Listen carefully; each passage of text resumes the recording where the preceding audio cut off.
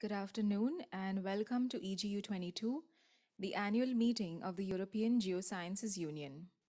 As many of you already know, this is the Union's first hybrid General Assembly, where we are bringing back our on site experience for those joining us in person, while at the same time introducing new concepts from the last couple of years to include our virtual attendees as much as possible. This year, we've had more than 12,000 abstracts submitted to EGU's meeting. And during the press conferences, we'd like to highlight some of the most unique studies, which, as you'll soon see, have impacts on local communities, industries, ecosystems, and the global environment. I'm Gillian D'Souza, EGU's Media and Communications Officer, and I'll be hosting this week's press conferences. Each press conference will have time for speakers to make their presentations, followed by a question and answer period at the end. For those of you joining us virtually, I ask that you mute your mics throughout the briefing until I call upon you to speak. If for some reason you experience technical difficulties, you can try to rejoin the session or look for more information on the press conferences section of the media.egu.eu page. A last couple of things to note. Please save all of your questions for after the speakers have finished presenting. During the Q&A period, we will take questions from journalists both in the room and online. If you're in the room, please raise your hand so we can pass a microphone over to you. If you're joining us virtually, please use the hand raising function on Zoom so we can come to you for your question. If you prefer to type your question instead, that's perfectly fine. Feel free to do so in the chat. All right, so now I'm going to go ahead and introduce all of our panelists to make for faster transitions between them. This afternoon's press conference is titled From Food Security to Flooding Technological Solutions to Geoscience Challenges. Our panelists for the day are Elizabeth Safran from the Environmental Studies Program, Lewis and Clark College, Portland, Oregon, and Elizabeth is joining us virtually. We have Husain Najafi from the Helmholtz Center for Environmental Research, Computational Hydrosystems Leipzig, Germany. We have Jessica Moersdorf from the Justus Liebig University, Institute for Landscape Ecology and Resources Management, Gießen, and Alliance to Feed the Earth in Disasters, Fairbanks, US. And we have Kees van Ginkel from Deltares Delft, the Netherlands. All right, so um, we will begin with Elizabeth's presentation. Elizabeth, over to you. All right. Great. This collaboration between a geologist, a computer scientist, a psychologist, and a scholar of media studies is focused on what it takes to motivate young adults to prepare for earthquakes. We find that video games can be effective tools to promote learning, confidence building, and action.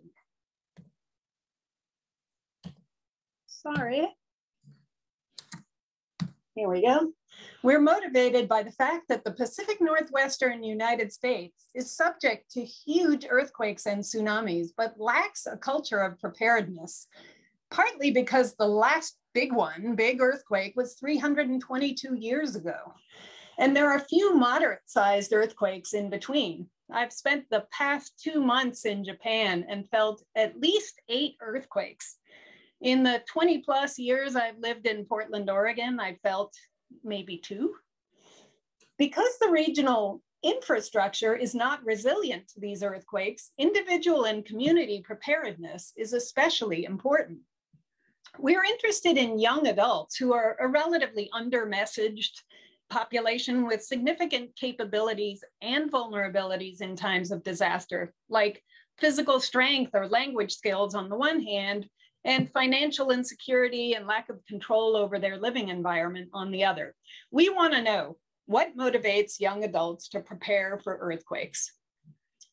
We're using custom made video games in experiments to address parts of that question.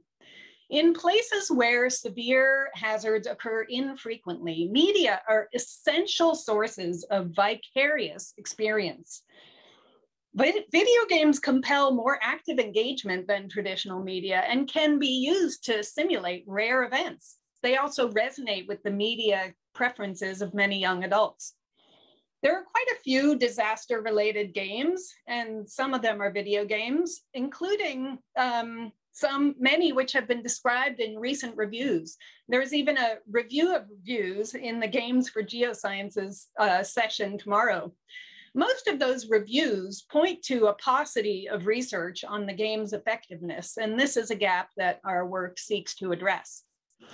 Our experiments are guided by social cognitive theory, which emphasizes links among personal cognitive factors, socio-environmental influences, and health promoting behavior. Our main dependent variables are learning, self-efficacy or confidence in one's ability to carry out a behavior, outcome expectation, which relates to the anticipated consequences of an action, uh, intent to act, and action. We consult on a regular basis with emergency managers to incorporate their priorities into the games and to share our results and games as they emerge. We're just getting ready to make the first game available, so let's get a little taste of it.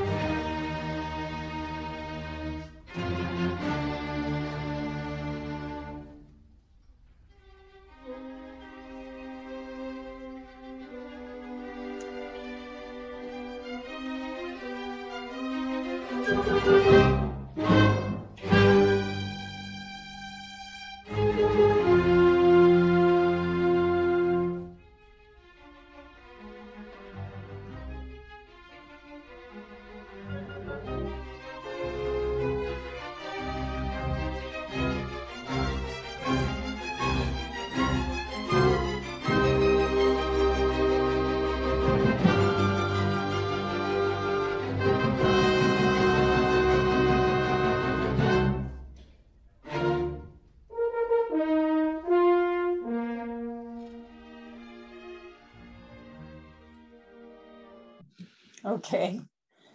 Again, these games are primarily, first and foremost, research tools. The experiment I'm describing today compares the impacts of either playing this video game or searching the web on all these dependent variables listed.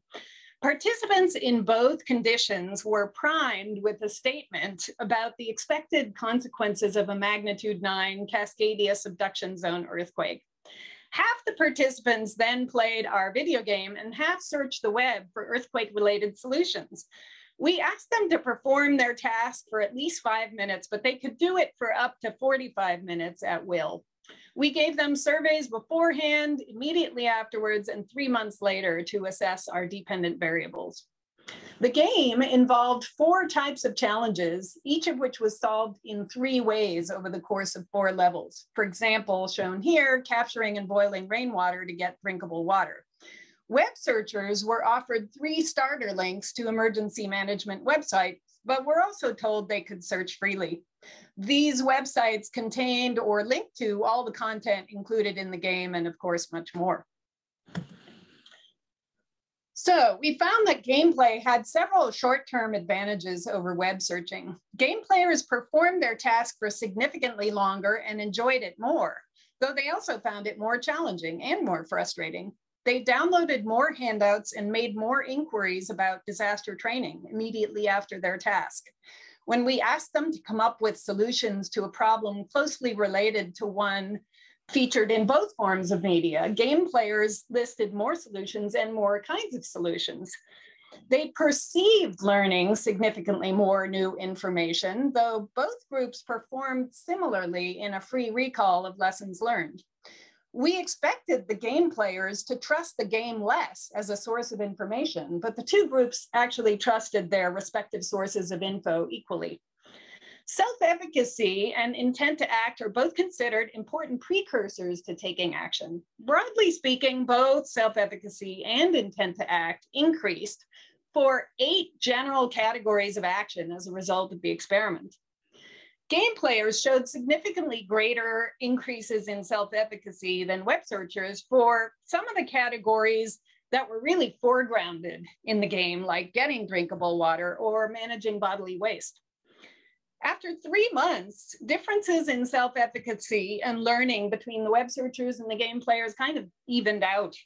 For both participant types, self-efficacy for five out of the eight categories of action remained elevated. For the game players, that included all the categories of action that were actually in the game. We asked about some that were not. Intent to act was a very different story. It returned essentially to pre-test levels for both types of participants. According to their self-reports, both game players and web searchers took significant steps to prepare for earthquakes, with web searchers perhaps showing a slight edge, although the data are a bit ambiguous. In summary, and to return to the question in this talk's subtitle, Games can help prepare young adults for earthquakes and opportunities for immediate action should be integrated into game environments to capitalize on those short-term advantages that gameplay confers. And I'll close with thanks to our undergraduate research assistants, funding sources, emergency manager collaborators, and I'll note that the findings, opinions, conclusions, and recommendations expressed here do not necessarily reflect the views of the National Science Foundation or any of our other funders. Thank you very much. Thank you so much, Elizabeth, for your presentation. Um, we will now move on to um, Husain's presentation, and Husain is also joined by his colleague today, Heiko Appel, who will also share in uh, with their findings. Over to you, Husain.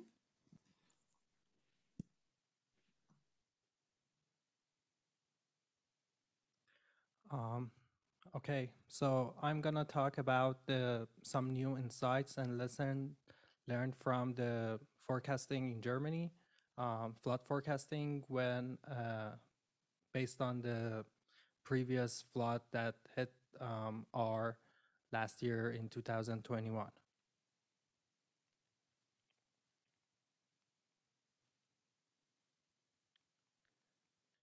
Um, so um, basically, if we look at the um, river and flash floods over the years, uh, in Germany, you can see that there are a number of fatalities um, since 1870s. And the one that was um, last year is one of the biggest and catastrophic one with um, around like 180% died, unfortunately. So we look at the um, statistics of this event. Um, this is uh, done with our colleagues at GFZ.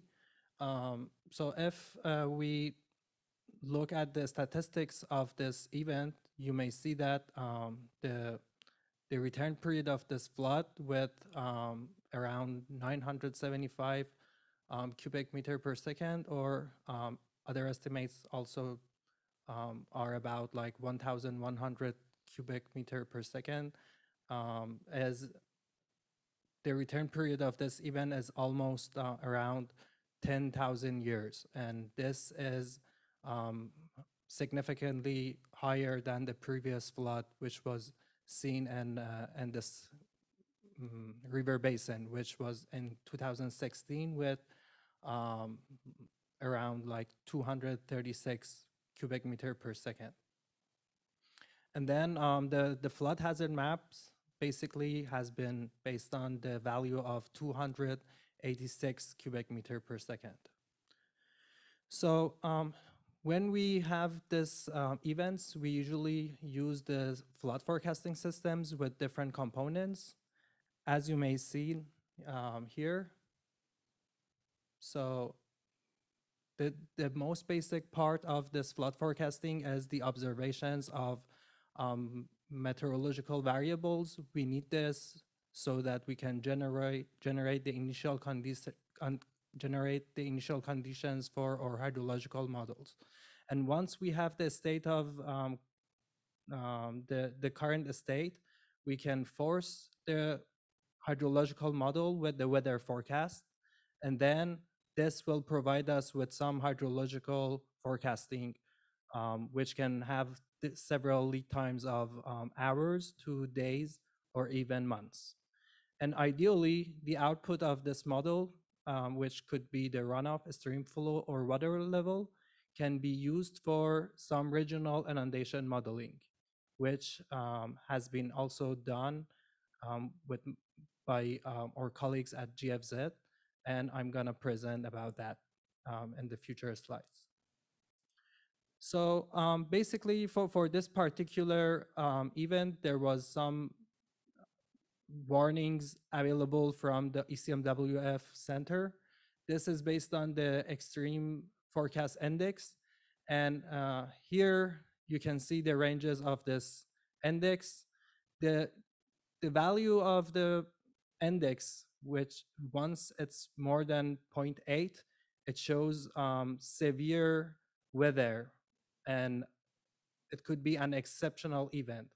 And from um, the from the figures from left to right, you can see that um, this index has been provided on July 14th, and it, it has already shown a significant um, value, which is like around 0.9 for this particular event.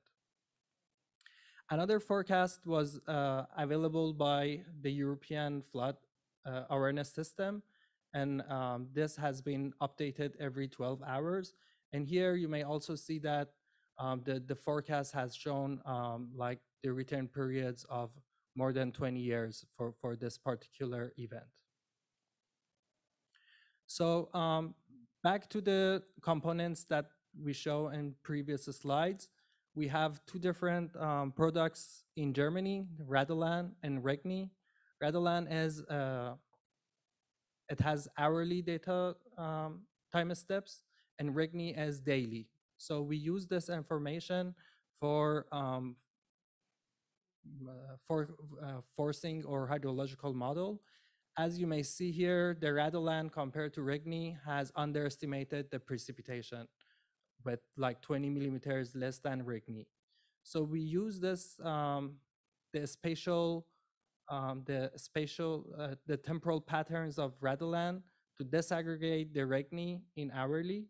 So then we can have uh, quantify the effect of this precipitation and uncertainty as- associated with this for our hydrological model. The hydrological model we use is MHM, the mesoscale hydrological model. It has been developed since 11 years at UFZ, Germany. And um, we have some enhancement for this so that it can read the hourly precipitation data. And that's the same model that is used for the German drought monitor, and it's a grid-based model. So in this figure, you see um, the, the constructed flood peak with the blue um, hydrograph, and also the red one, which is based on the Regni disaggregated, and Radolan with the purple one. And as you may see, um, the uncertainties associated with this near real-time products is uh, not so different, but it can also help us with um, simulation of this flood event. Um, one um, one other part of this model, um, the, the the forecasting chain is like this flood impact forecasting, and it's the inundation modeling, which has been done by our colleagues at GFZ. So um, basically, the figure here shows the water level um, available for based on the the flood center, with the red one, which was also underestimated, and the blue one, which was actually the um, the the observed value of the the flood. And here you will see that um, this model, which is um, not computationally expensive, this model has been run for um, for the forecast uh, for for the event of 15 hour um, time period just in seven minutes and this is like the application of how we can use this kind of models in the forecasting chain to help early warning of the forecasts we also look at the climate change um, projections for this particular event. And as you may see, based on uh, several climate change scenarios, this event is exceptional and um, like with, with um, around 550 cubic meter per second, you can see that um, even in the climate change projections, this kind of event can be considered as exceptional. So the lessons we learned is like uh, that the, the, the event was predictable as we have uh, shown in several figures and um, or state of the art weather and hydrological forecasting tools can have um, forecast this particular event. Um, the, by implementing the hydrological, uh, the hydraulic forecast models with low computational resources, we can add this uh, models to the forecasting change for um, early flood warning. And one last point that I would like to mention is that um, the, the data should be available from adjacent countries in case of we are interested in flood forecasting of um, the mm, the transboundary rivers. This data is available only for um, the state flood centers and regional flood centers. But if this kind of information is available for the research part, then we can improve our models and have a benchmark so that we can improve our forecasting systems. That was my last slide. Thanks. Thank you, Husain. Over to you, Jessica, if you're ready.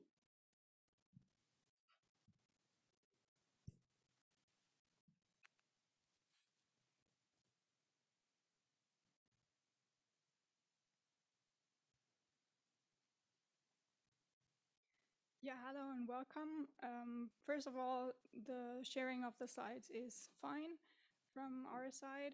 I want to talk to you about my thesis work, which was conducted as a joint project between the nonprofit organization Alliance to Feed the Earth in Disasters, or short ALLFED, and the Justus Liebig University Gießen in Germany. It addresses the question can we feed everyone without our modern infrastructure and industry?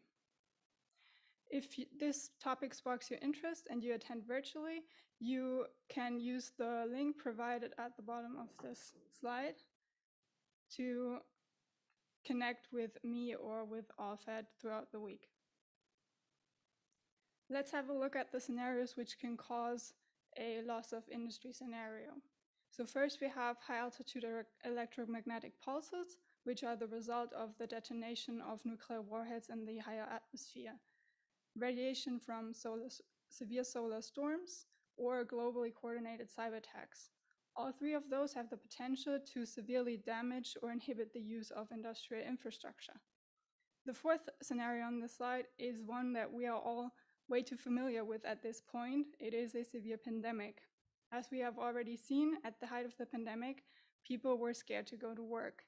If the pandemic were even more deadly, then this could lead to the abandonment of critical infrastructure and a de facto loss of industrial products and services. These losses would have a large effect on our modern infrastructure uh, agriculture as it is heavily reliant on industrially produced fertilizer, pesticides, and agricultural machinery to do the heavy lifting.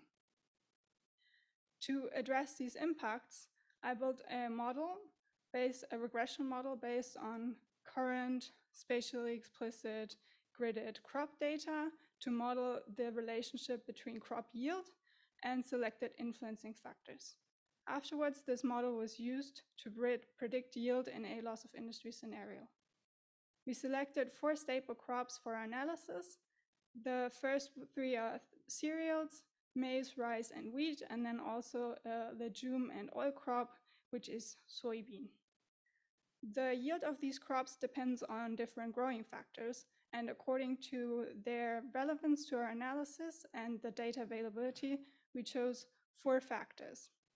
The influencing factors we chose are nutrient input in form of manure or industrial produced fertilizer in kilogram per hectare, the pesticide application also in kilogram per hectare, if the agricultural production was conducted using agricultural machinery or not. And also we looked at the fraction of irrigated cropland in a specific area. For loss of industry, we're looking at a worst case scenario, but we also split it into two phases. For both phases, we do not have access to any electrically or fossil fuel reliant irrigation. However, on phase one, we assume that there will be some stocks left of fertilizer, pesticides, and fuel due to production surpluses before the catastrophe hit and distributed storage. In phase two, on the other hand, we will not have any of these stocks anymore and no access to industrially produced inputs. So we can only rely on manure, biological pest control, and draft animal power to aid us in the production of agricultural goods. Now let's have a look at how we would fare in a catastrophe according to my model. Here you can see the overview of the mean uh, crop yield for each crop. So we have um, the four crops, maize, rice, soybean, and wheat. And in blue, you can see the current crop yield uh, from the early 2000s. In purple, the projected yield for phase one, and in green, the projected yield for phase two. As we can see, we have already a strong reduction in phase one, ranging from 17 to 35% yield loss. In phase two, this gets even worse, and we look at a reduction of 37 to 46% in yield. Overall, that means that for phase two, we're looking at at least one third of yield loss for each crop. Still, this can be misleading, so let's have a look at the spatial distribution of these projected yield losses. Here you can see again the different crops, uh, maize, rice, soybean, and uh, wheat. The gray areas are not particularly affected by loss of industry scenario. For the other ones, the deeper the color red, the more severe the yield loss. We can um, clearly identify some hotspot, some hotspots on these slides. However, um, they do not vary too much between the phases. So let's have a look at phase two to more clearly see the different hotspots. Here we can see the losses are much larger and the hotspots we're looking at for overall are North and South America, Europe, China, India, and Indonesia. This coincides with the main growing regions and also largely with the industrialization of the specific agricultural production in these regions. We can also see that the losses in these regions are a lot larger than what we um, saw before with the mean. So here we're actually looking more at 50% and more yield loss in the hotspot regions. What exactly does that mean now for the question we posed ourselves in the beginning? Can we feed everyone? The short answer, according to my model, is we could, but it takes a lot of preparation. Currently, we are producing more than double the amount of food that is needed to feed the world population. So the mean that we estimated at 41.5% yield loss for the specific crops or for overall crop uh, yield would still be leave enough food for the global population. However, as we've seen in hotspots, this can be a lot more. And um, so we would really need to invest in preparing logistics and communication systems for this scenario. And also, this doesn't address the political or economical dimension of the problem, which is a whole separate question that um, needs to be addressed separately. The work presented here provides the first spatially explicit and crop-specific estimate on crop yields in two phases of loss of industry scenarios.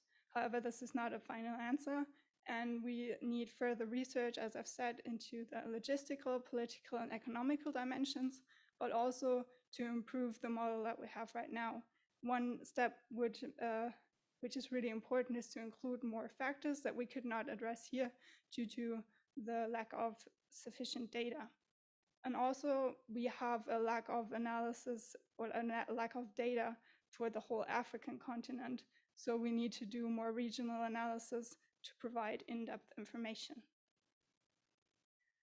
As said before, if you want to connect with me if you're attending virtually, then please use this link. And thank you so much for your attention. Thank you, Jessica, for your presentation. We will move to now our last speaker. Kees, if you're ready, over to you.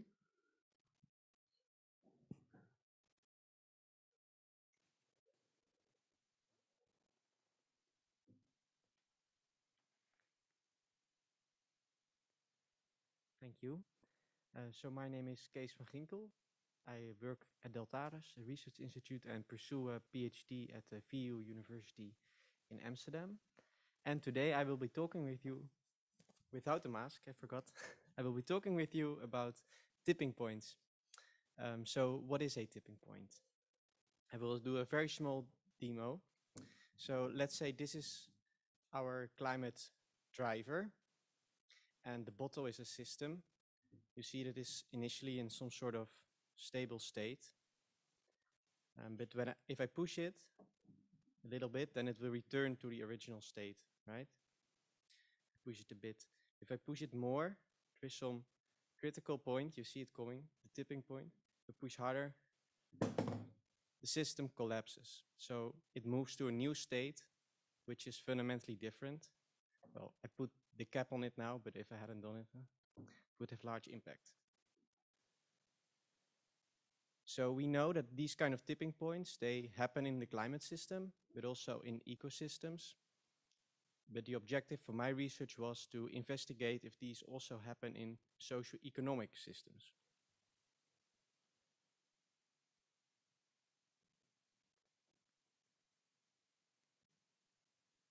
To make that a bit more concrete, I have three examples. So the first is bankruptcy of ski resorts. So here our driver would be the snow line that is retreating. And the impact would be that a ski resort could go bankrupt. The second example is a house price collapse. So again, the driver here is the climate risk that could be increasing. And what suddenly changes is the house price. So it could collapse. The last example I actually took from the Ahr Valley. That's the picture you see there. And uh, you can imagine if we get really big floods, so that's the driver again, um, at some point so much of the road network is destroyed that like the whole country is very poorly accessible and it's also some sort of a tipping point.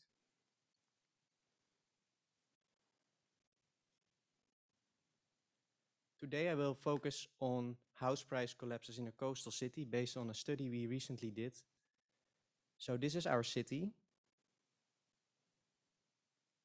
And you can see it's threatened by sea level rise. And every year there is a storm and we don't know how high it will be. We know a little bit about the range, but it's still uncertain what will happen in the future. And there's people living in the city and they sell property and buy houses and as a result there is some house price.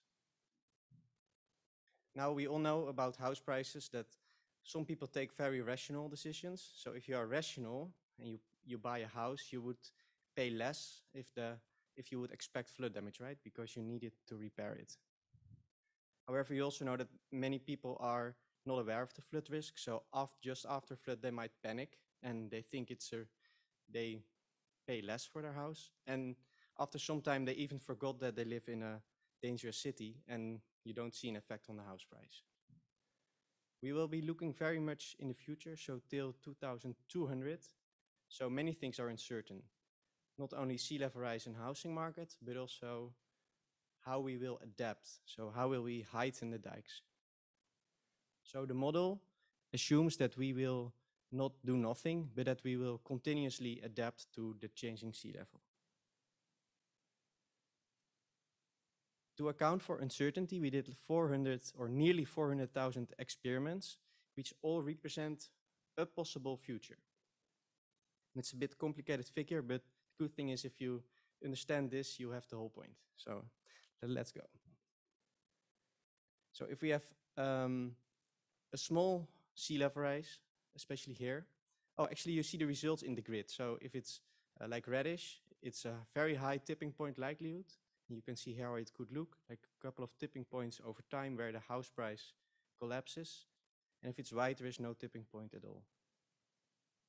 So in low-end sea level rise scenarios, we hardly see uh, tipping points. But if we go up to the most extreme sea level rise scenarios that, for example, follow from Antarctic ice sheet collapses, um, it's a very serious risk. Now here, horizontally, you see the role of adaptation. So if you are very reactive, so the government waits for something to go wrong or almost go wrong before they do adaptation, you see that we uh, end up with a lot of tipping points. But if you are very proactive, we should be good, at least most of the in the most of the scenarios.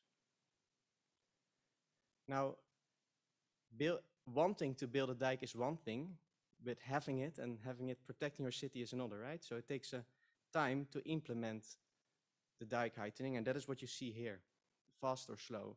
So if the procedure of building and planning for the dike is really fast, you see it's a really big advantage. And if you're slow, um, even if you're proactive, so we have good ideas, but we're just slow in implement, implementing it, it still fails. Well, also watch these persons. I will come back to them in the next slide. So what does this all mean? Well, first of all, that accelerating sea level rise is really a game changer. So we, if we have a collapsing West Antarctic ice sheet, and there's a lot of presentations here about this topic, um, there could be a serious threat that many coastal cities could have these kind of tipping points in the coming, say, 100 years or even further in the future. So 200 years even. The good news is that we can avoid most of them that you can see here. So if you're very proactive and we somehow manage to do a very smooth adaptation processes, we can avoid most of these tipping points. However, we know that we cannot take this for granted. If we look, for example, at the Venice MOSE barrier or in Rotterdam, the big storm surge barrier, it can easily cost like 50 years from the first idea to when it all works fine and protects us. And finally, the Persons you see here, they represent the dynamics on the market. So these are all likely range uh, IPCC scenarios, so more likely than these. Um, but you see that here we only see tipping points at in, in the housing market where people are driven by sentiment. So they panic if a flood happens or a near miss event, so they really overestimate the risk at that point. And we know from economic research that this really happens. Whereas if they would be all rational, even if there was a flood once and they, yeah, it would not change the situation that much, right? So if they are rational, you can avoid tipping points, whereas people panic for nothing, maybe, um, you can have a tipping point. So the flood, flood risk perception really matters.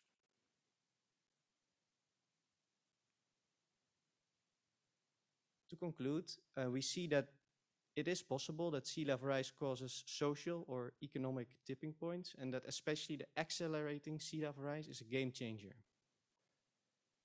Um, if you have very proactive flood risk management, you can avoid these tipping points, but you must plan very much in advance. You must monitor what is coming to you, what is the sea level rise that we can expect. And what was surprising from this study is also, it's not only about building the dike, that is one thing, but convincing people that they can trust it is another. So it's also very important to inform people about the actual risk so they don't underestimate it when nothing happens and they don't overestimate it when something goes nearly wrong. If you want to know more about this example or the ski resorts or the road network, let's chat after the meeting. Thank you.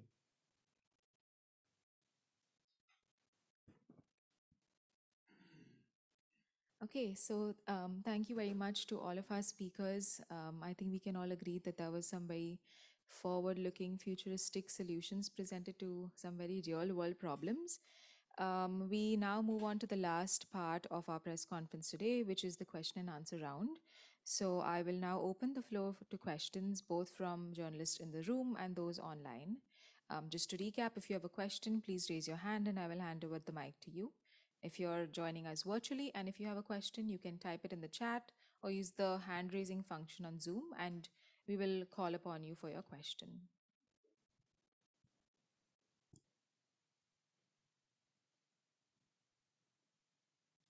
We have a question. I'm just going to hand the mic to you. This is a question for Jessica. So, in planning for worst case scenarios of other kinds, I'm thinking like uh, bioweapons attack, and governments have, or, or shocks to the oil production, governments have taken a strategic stockpile approach, right? And just warehouse enormous quantities of the resource that would be needed to weather the initial shock for a while until things could be rebuilt. Could that approach work for the kinds of shocks you're looking at, and what sort of resources would need to be stockpiled for that to work? Thank you for the question. It wouldn't work in all kinds of scenarios. There is obviously the uh, possibility that some of these shocks could be resolved pretty quickly. For example, a cyber attack could only be an hour long and then the specific people would have it under control again and everything would be fine. However, if there is lasting damage to critical infrastructure, this can take years to rebuild. Even under normal conditions, um, some of these critical infrastructure pieces take even one or two years to be produced and delivered for use. So we're looking more at solutions that could work for a couple of years and even longer than that. And for these kind of solutions, stockpiling does not work because it's just an enormous amount that is not viable and also very, very expensive. Uh, one point of ALLFED is also to look at the cost effectiveness. I have not done this for my research, but it has done uh, been done for other kinds of scenarios. And uh, stockpiling is very expensive and not very cost effective. So what we're looking at is more what can we do to prepare our society to react to these scenarios or like prepare for them in a way that is cost effective and efficient. And in these cases, we're looking more at protocols, alliances in a political sense, or in my scenario, at um, really diffusing the information on how to be able to do agriculture without a modern infrastructure. Thank you, Jessica. Do we have any other questions? Do we have any questions um, that are coming in virtually? Okay. All right. Um, just wait another minute. You have a question? Okay. Uh, I have a question for Elizabeth. So very interesting uh, talk about the positive effect of uh, video game for the preparedness of the earthquake. So my question is, do you have any plan to implement the same game, similar game for other hazard, for example, flood event? Thank you. Thank you for the question. We don't at uh, present have plans to uh, implement for flood scenarios. We have a research agenda for several other experiments uh, also relating to earthquake preparedness. Um, for example, um, our next experiment will focus on what kinds of things are important um, in media uh, in terms of people identifying with the situations depicted. Um, there's evidence that um, that sort of um, similarities in various dimensions are important for um, adopting uh, uh, sort of lessons learned from ob observed models. Um, but in the case of disasters, what are the important forms of identification. So our next experiment will look at um, identification with living situation. We'll have uh, one game that's set in Portland, Oregon, and one that's set in a generic cityscape. And then we'll also have um, different living environments because we know that many young people don't own their own houses and maybe don't identify with that situation as it's depicted in, in lots of media. So that's um, our, our future experiments all deal with earthquakes for now. Thank you for the question. Thank you, Elizabeth. Okay, if we do not have any more questions incoming, then we will um, wrap up the session for today. Uh, thank you all for joining us for today's briefing. Uh, I just want to say that if you are struggling to connect to any of our speakers for interviews or comments after this, um, feel free to drop me an email at media at egu.eu. Um, we also have um, three more press conferences lined up tomorrow, some very exciting ones. So uh, be sure to visit the media.egu.eu page for more information. Um, we will now close this press briefing. Thank you again to our panelists and for all of you joining us. Thank you.